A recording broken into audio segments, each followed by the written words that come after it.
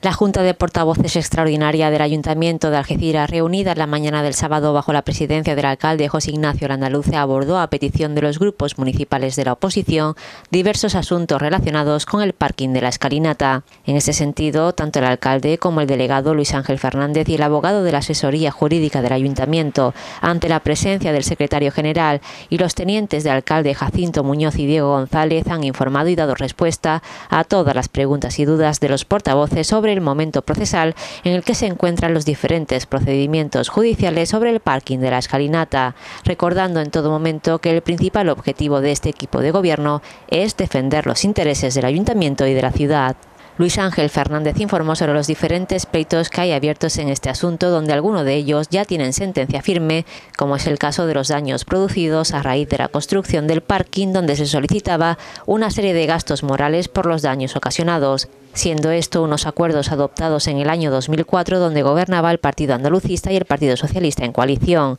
siendo el alcalde el socialista Juan Antonio Palacios. Asimismo, Fernández reiteró que estas indemnizaciones no saldrán de las arcas municipales, por lo que tendrá un coste cero para el ayuntamiento, ya que ese pago lo asumirán las empresas aseguradoras. Por ello, se determinarán las cantidades finales a indemnizar en la fase de la ejecución de la sentencia. Asimismo, quedan otros pleitos sobre este asunto pendiente, como es el de la comunidad de propietarios del edificio La Escalinata, por los efectos producidos con la construcción del parking, donde hay una querella criminal en la que están imputados los exalcaldes socialistas Juan Antonio Palacios y Tomás Herrera y el exedil andalucista José Ortega. Además, el portavoz destacó también el pleito relacionado con Otages, donde se concedió también en el año 2004 una licencia para sus oficinas, a pesar de unos informes técnicos desfavorables. Por ello, desde el ayuntamiento se defiende una postura de incoherencia en este pleito, ya que en este caso la empresa Nautages era consciente de que lo que solicitaba era ilegal, por lo que ahora no puede pedir daños y perjuicios.